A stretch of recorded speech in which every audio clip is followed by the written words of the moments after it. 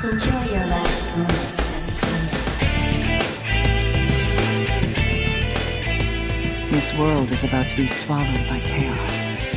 It's called the Conception, the rebirth of the world. Prove your strength to me. It is I who will create the new world. Man is destined to die and the world to end.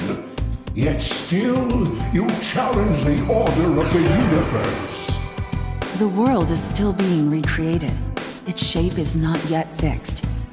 The power of creation will be mine. To create or destroy this world, the choice lies with you.